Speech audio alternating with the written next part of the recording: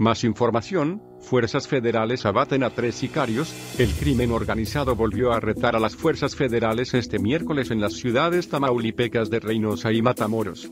En el primer punto, efectivos de la Policía Federal fueron atacados a balazos sin que se registraran bajas. Los uniformados recibieron una llamada de emergencia y, al llegar al sitio indicado, fueron atacados por sujetos armados.